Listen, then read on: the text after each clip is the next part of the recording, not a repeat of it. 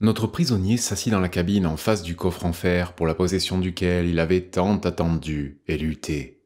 Il avait le regard hardi, le teint hâlé.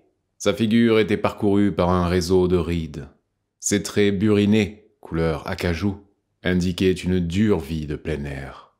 Son menton barbu agressif témoignait qu'il n'était pas un homme à se laisser facilement détourner de son but. Il devait avoir cinquante ans. Ses cheveux noirs bouclés étaient abondamment parsemés de fils gris. Détendu, son visage n'était pas déplaisant, mais d'épais sourcils et la saillie du menton lui donnaient dans la fureur une expression terrible. Menottes aux mains, tête inclinée sur la poitrine, il était assis, et ses yeux vifs clignotaient vers le coffre, cause de tous ses méfaits. Dans son maintien rigide et contrôlé, je crus discerner plus de tristesse que de colère. Il leva les yeux vers moi, une fois. Il y avait comme une étincelle d'humour dans son regard. Eh bien, je regrette que cette affaire en soit venue là, Jonathan Small, dit Holmes en allumant un cigare. Et moi donc, monsieur Je ne crois pas que je parviendrai à me disculper du meurtre. Et pourtant, je peux vous jurer sur la Bible que je n'ai jamais levé la main sur Mr. Sholto. C'est ton gars, ce chien d'enfer, qui lui a décroché une de ces damnées fléchettes. Je n'y ai absolument pas participé, monsieur. J'étais aussi désolé que s'il avait été quelqu'un de ma famille. J'ai battu le petit diable avec le bout de la corde, mais la chose était faite. Je ne pouvais plus y remédier. Tenez, prenez un cigare, et vous feriez mieux d'avaler une gorgée de whisky, car vous êtes trempé. Mais dites-moi, Comment espériez-vous qu'un homme aussi petit et faible que ce noir puisse s'emparer de Mr. Sholto et le maintenir pendant que vous grimpiez avec la corde? Vous semblez en savoir autant que si vous aviez été là, monsieur. La vérité, c'est que j'espérais trouver la chambre vide.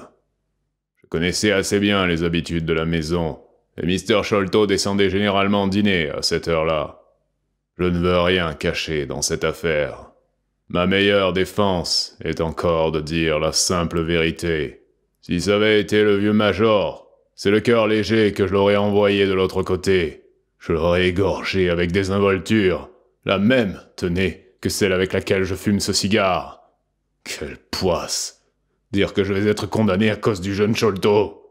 Je n'avais vraiment aucun motif de me quereller avec lui. Mr. Athelney Jones de Scotland Yard est responsable de vous. Il va vous conduire chez moi. Je vous demanderai un récit véridique de l'histoire. Si vous êtes absolument franc, si vous ne dissimulez rien, j'espère pouvoir vous venir en aide. Je pense qu'il me sera possible de prouver que le poison agit d'une manière si foudroyante que l'homme était mort avant même que vous ayez atteint la chambre. Pour cela, il l'était, monsieur. Jamais de mon existence, je n'ai reçu un tel choc que quand je l'ai vu, la tête sur son épaule, me regardant en ricanant, pendant que j'entrais par la fenêtre. Cela m'a bien secoué, monsieur. J'aurais d'à moitié tué ton gars s'il ne s'était enfui. C'est pour ça qu'il a laissé sa massue et quelques-unes de ses fléchettes, d'après ce qu'il m'a dit. Je suis sûr que cela vous a mis sur nos traces, hein. Quoique je ne vois pas comment vous êtes parvenu à nous suivre jusqu'au bout. Je ne vous emporte pas en rancune, vous savez. Mais il est tout de même étrange que me voilà ici, alors que j'ai un droit légitime à posséder un demi-million de livres. J'ai passé la première partie de ma vie à construire une digue dans les Adamants. J'ai une bonne chance de passer la dernière à creuser des tranchées à Dartmoor. Funeste jour que celui où j'ai vu Arkmet le marchand et le trésor d'Agra. Ce trésor, monsieur, a toujours été une malédiction pour ses détenteurs. Le marchand a été assassiné. Le major Sholto a vécu dans la peur et la honte. Quant à moi, ce trésor ne m'a rapporté que toute une vie d'esclavage. À ce moment, Athelney Jones passa sa tête ronde. C'est une vraie réunion de famille. Je crois, Holmes, que je vais goûter un peu de votre whisky. Eh bien, je pense que nous sommes en droit de nous féliciter mutuellement. Il est dommage que nous n'ayons pas pris l'autre vivant. Et nous n'avions pas le choix. En tout cas, Holmes, vous avouerez que nous les avons eus de justesse. Il a fallu donner toute la vapeur. Tout est bien qui finit bien, mais j'ignorais en effet que l'aurore était si rapide. Smith dit que sa chaloupe est l'une des plus rapides sur le fleuve, et que s'il avait eu un autre homme aux machines pour l'aider, nous ne l'aurions jamais rattrapé. Il jure de ne rien savoir du meurtre de Norwood. C'est vrai, je ne lui en ai pas soufflé mot. J'ai porté mon choix sur sa chaloupe parce que j'avais entendu dire qu'elle filait comme le vent. Mais c'est tout. Je l'ai bien payé et je lui avais promis une belle récompense s'il nous amenait à l'Esmeralda, à Gravesend, en instance de départ pour le Brésil. Eh bien, s'il n'a rien fait de répréhensible, nous veillerons à ce qu'il ne lui arrive pas de mal. Nous sommes assez rapides lorsqu'il s'agit d'attraper des types, mais nous le sommes moins pour condamner. Il était divertissant de voir Jones se donner des airs importants maintenant que la capture était faite. J'aperçus un léger sourire sur le visage de Sherlock Holmes, à qui ce changement d'habitude n'avait pas échappé. Nous allons arriver au pont de Vauxhall. Docteur Watson, je vais vous mettre à terre avec le coffre au trésor. Je n'ai pas besoin de vous dire que, ce faisant, j'endosse une très grave responsabilité. Ce n'est absolument pas dans les règles. Et la chose était convenue. Je ne me dédie pas. Mon devoir m'oblige cependant à vous faire accompagner par un inspecteur, à cause de la grande valeur de ce coffre. Vous irez en voiture, sans doute? Oui, je me ferai conduire. Il est vraiment dommage qu'il n'y ait pas de clé, afin que l'on puisse procéder à un inventaire préliminaire. Vous serez obligé de forcer la serrure. Dites-moi, Small, où est la clé Au fond de la rivière. Oh, il était vraiment inutile de nous infliger cette contrariété supplémentaire. Vous nous avez donné assez de mal. En tout cas, docteur, je n'ai pas besoin de vous recommander la plus grande prudence. Ramenez-nous le coffre à Baker Street. Nous vous y attendrons avant de nous rendre au dépôt. Ils me débarquèrent à Vauxhall, moi et le lourd coffre de fer, plus un inspecteur costaud et sympathique.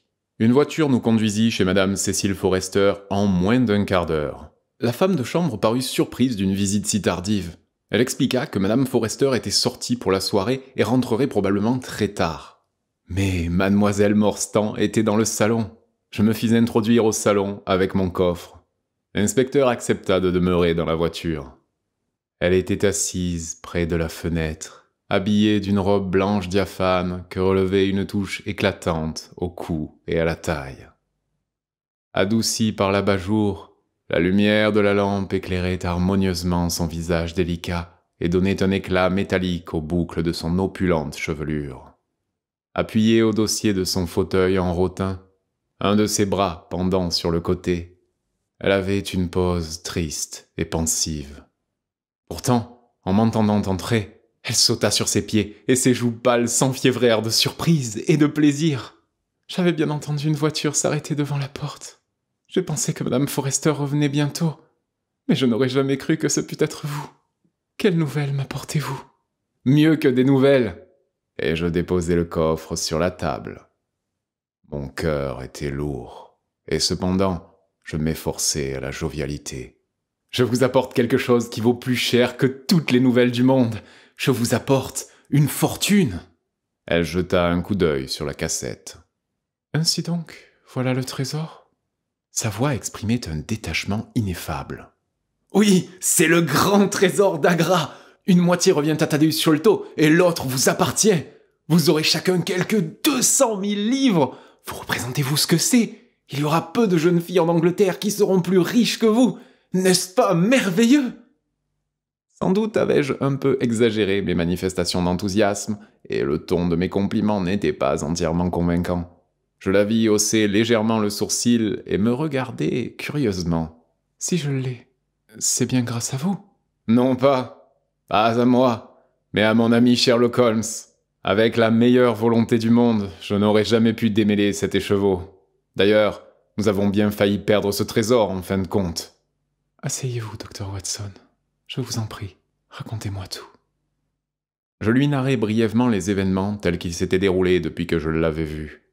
La nouvelle méthode de recherche qu'avait employée Holmes, la découverte de l'aurore, la venue d'Athelney Jones, nos préparatifs, et la course folle sur la Tamise. Yeux brillants, lèvres frémissantes, elle écouta le récit de nos aventures. Lorsque je parlais de la fléchette qui nous avait manqué de si peu, elle devint pâle, comme si elle allait s'évanouir. Ce, n'est rien, murmura-t-elle, tandis que je lui tendais un verre d'eau. Rien qu'un léger malaise. Ça a été pour moi un choc quand j'ai compris que j'avais exposé mes amis à un aussi horrible péril. Ce n'est plus que du passé. Laissons de côté ces tristes détails. Parlons de quelque chose de plus gai. Le trésor est là. Que pourrait-il y avoir de plus gai? J'ai obtenu l'autorisation de l'amener avec moi, pensant qu'il pourrait vous plaire d'être la première à le voir. Cela m'intéresserait beaucoup. Sa voix marquait peu d'empressement. Mais sans doute, pensa-t-elle, qu'il serait peu aimable de paraître indifférente devant un trophée qui avait été si difficile à conquérir. Quel beau coffre Je suppose qu'il a été confectionné aux Indes Oui, à Bénarès. Et si lourd s'exclama-t-elle en essayant de le soulever. Le coffre à lui seul doit avoir de la valeur Où est la clé? Small l'a jeté dans la Tamise. Il va falloir emprunter l'un des tisonniers de Madame Forrester. Il y avait, sur le devant du coffre, un large et solide fermoir qui représentait un Bouddha assis. Je parvins à introduire par-dessous l'extrémité du tisonnier et j'exerçai une action de levier. La serrure céda avec un claquement bruyant. D'une main tremblante, je soulevai le couvercle. Nous restâmes tous deux pétrifiés. Le coffre était vide. Rien d'étonnant à ce qu'il fût si lourd. Le fer forgé épais de près de deux centimètres l'enveloppait complètement. Il était soigneusement fait, massif et robuste. Le coffre avait été certainement fabriqué dans le but de contenir des objets de grand prix. Mais à l'intérieur, pas le moindre fragment, pas le plus petit débris de métal ou de pierre précieuse. Le coffre était absolument et complètement vide. Le trésor est perdu? dit mademoiselle Morstan avec un grand calme. Lorsque j'entendis ces mots et que je compris leur plein sens, il me sembla qu'une grande ombre s'éloignait de mon âme. J'ignorais à quel point ce trésor d'Agra avait pesé sur moi. Je ne m'en rendis compte qu'au moment où je le vis enfin écarté. C'était égoïste, sans aucun doute. C'était déloyal, méchant de ma part. Mais je ne pensais plus qu'à une seule chose. Le mur d'or avait disparu entre nous. Merci, mon Dieu m'écriai-je du plus profond de mon cœur. Elle eut un sourire furtif et me regarda d'un air interrogateur. Pourquoi dites-vous cela? Parce qu'à nouveau, vous voici à ma portée, dis-je en posant ma main sur la sienne. Parce que, Marie, je vous aime, aussi sincèrement que jamais homme aima une femme. Parce que ce trésor, avec toute votre richesse, me scellait les lèvres. Maintenant qu'il a disparu, je puis vous dire combien je vous aime. Voilà pourquoi j'ai dit merci, mon Dieu. Alors, dans ce cas, moi aussi, je dis merci, mon Dieu. Quelqu'un avait sans doute perdu un trésor cette nuit-là. Mais moi, je venais d'en conquérir un.